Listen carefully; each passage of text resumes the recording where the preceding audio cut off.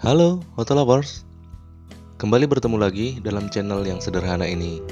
Dalam kesempatan kali ini Saya sekedar ingin berbagi informasi terkait kelemahan MPV Legend Yang digadang-gadangkan masyarakat Indonesia termasuk saya.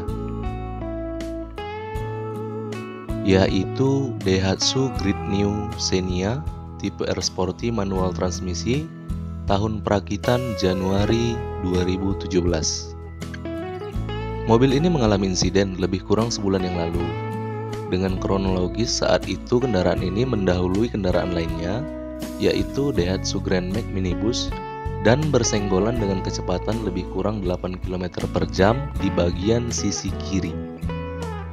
Jadi kerusakan Xenia itu di bagian bodi sebelah kiri belakang dan kerusakan Grand Max minibus tersebut di bagian bodi sisi depan sebelah kanan.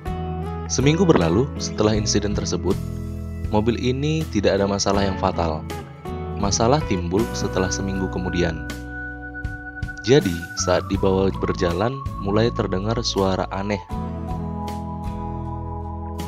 Bunyi itu berdengung kecil atau samar-samar. Sebagai seorang driver, Bunyi tersebut sudah tidak asing lagi dan memprediksi bahwa itu adalah awal mula gejala kerusakan pada biring roda atau yang umum disebut dengan lahar roda. Setelah selesai melakukan perjalanan, driver melakukan cek terhadap masing-masing roda dan didapati bahwa roda belakang sebelah kiri yang mengalami kerusakan biring atau lahar tersebut. Pengamatan berlanjut pada putaran roda, dan akhirnya di sana jelas terlihat bahwa Roda mobil ini berjalan tidak sempurna alias baling. Namun, balingnya masih dapat dimaafkan karena masih sedikit. Lalu driver membawanya ke bengkel rekanan yang dapat dipercaya. Dari sana didapatkan estimasi kerusakan kendaraan ini sangat-sangat di luar dugaan. Sangat-sangat tidak masuk akal ya, tidak bisa diterima logika. Estimasi kerusakan yang diberikan bengkel tersebut adalah Bodi belakang kiri mengalami cacat tergores. Velg mengalami cacat. As roda belakang kiri mengalami kebalingan.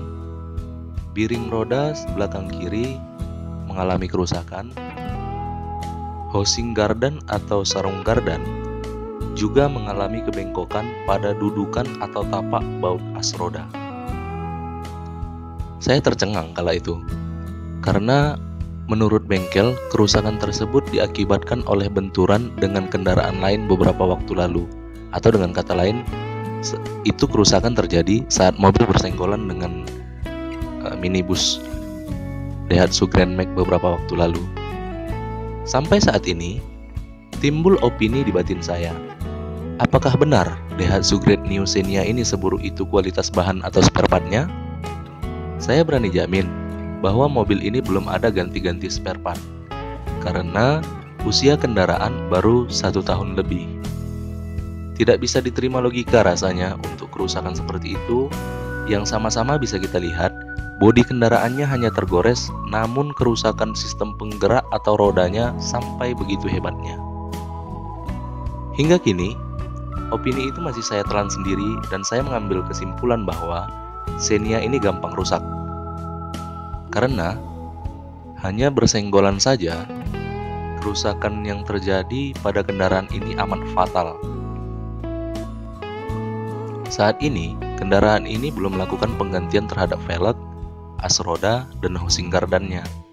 Saya hanya mengganti biring rodanya karena menurut saya kerusakan biring roda itu semakin parah, bunyinya itu semakin kuat, semakin kasar untuk menghindari kerusakannya jadi bertambah, maka saya mengganti piring roda tersebut. Untuk part lainnya yang belum diganti, itu masih dalam proses pemesanan.